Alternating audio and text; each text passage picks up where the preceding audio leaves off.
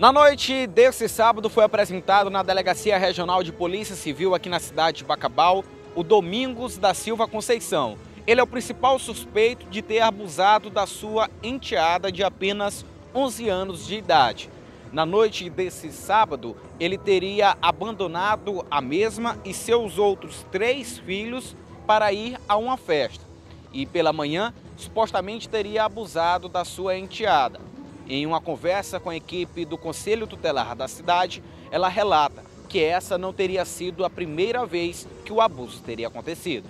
Olha só, nesse momento, chegando à Delegacia Regional de Polícia Civil, a equipe da Guarda Municipal lá da cidade de São Mateus, a respeito de uma situação que acabou acontecendo, onde uma criança de apenas 11 anos de idade supostamente teria sido vítima de abuso sexual por parte do seu padrasto. A equipe da Guarda Civil Municipal já está aqui para fazer a apresentação desse rapaz. A informação que teria sido lá no povoado Pedrinhas, povoado Pedrinhas, lá da cidade de São Mateus. A informação aqui é que o Domingos teria sido a pessoa que teria é, abandonado a criança e também teria passado por algum tempo abusando. Da... Você teria abusado lá da criança? Não fiz nada não, senhor. Não fiz nada. Por que, que a criança estava falando lá? Tem um exame aí dizendo também que o, o senhor teria abusado da criança. Não fiz nada não. O próprio hospital confirma o abuso. O que, é que o senhor tem a dizer? O senhor sabe que diante dos fatos é, não tem argumentos, não é isso? O que, é que o senhor tem a dizer aí? Ai, Explica aí para a população lá de São Mateus. Como é que fica essa situação do senhor agora é isso? Você estudou mesmo? O que o senhor tem a dizer mesmo? Está aqui nesse momento sendo apresentado por parte da Guarda Civil Municipal, como a gente vai acompanhando aqui, lá do povoado Pedrinhas. A informação é que ele teria abusado de uma criança de apenas 11 anos de idade. A gente vai aqui acompanhando, a gente vai conversar. de idade, tá aqui. Explica aí direitinho. Qual é seu nome aí? Essa situação aí, Qual é seu nome aí? Explica direitinho lá, Domingo. O Ó, Domingo, não tem, não tem mais o que esconder. Tem que dizer aqui e abrir um jogo aí. a verdade. Abre o jogo aí, Domingo. Você teria abandonado lá a criança lá para ir pra festa? Isso é verdade isso? e se isso aí pra festa, eu fui pra festa. A festa tu foi. E abusar da Não, criança? não, não, fiz, não fiz isso não. E os Ela relata que não é a primeira vez que o senhor teria abusado dela. Não faço isso não, senhor. Mas não, né? Não, O senhor tá de consciência limpa. De, de onde foi que partiu essa acusação aí? eu não sei. Hein? Você sabe? Mas os exames No comprovaram momento que, lá, a, momento que a, guarda chegou, a guarda municipal chegou lá, o senhor tava onde? O senhor tava em casa? Estava, quando eu estava lá, eu cheguei em casa lá. O senhor tava na festa, era isso? Mas quando eu estava lá, eu cheguei. O Ah, senhor sabe que daqui que o senhor explique toda essa situação lá no presídio, o senhor vai sofrer bastante, viu? Eu não fiz nada não. Eu, tenho, ci- eu tô ciente que eu não fiz nada. E o exame lá que tá comprovando que o senhor teria feito? Não foi eu não, senhor. Não foi eu não. o senhor não, né? Foi não. Tinha avisado que essa criança, a família dela lá, tinha?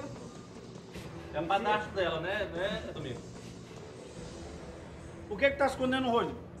Já que tu tá, se diz inocente aí. Eu sou pai de família, sou. Tá baixando, não, mas pai de família. E se alguém tivesse feito isso com, seu, com os seus filhos lá? Você ia gostar? Hein, seu Domingo? O senhor convive quanto tempo com a mãe da criança lá, seu Domingo? Quantos anos?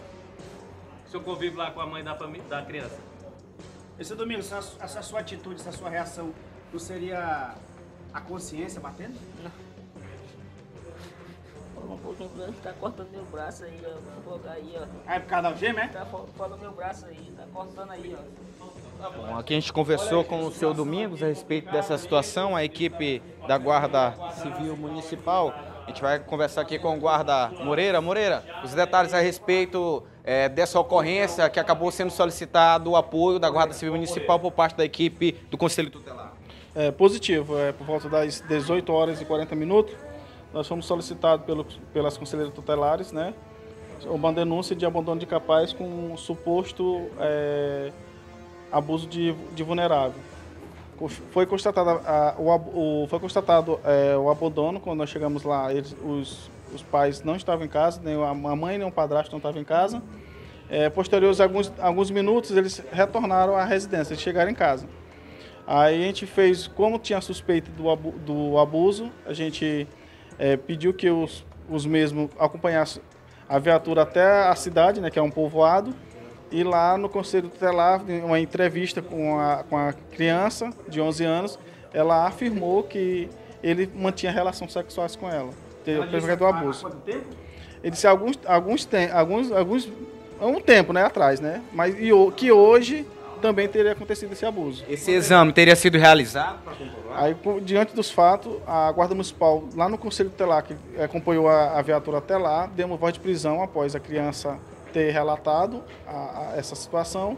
Levamos eh, até o hospital a criança e lá o médico fez o exame onde foi constatado o exame e médico. a mãe da criança diz o que nessa situação? A mãe da criança a gente não tem, nem a gente conversou com ela, a gente tá muito abalada, a gente nem conver- conversou com ela ainda, então porque a gente não podia ter manter os dois, a vítima e a mãe junto com, com o suspeito, né? A mãe, a mãe então deve ter relatado que não tem conhecimento da situação, é isso? É, esse episódio do abuso, segundo, a, segundo ela, foi pela manhã.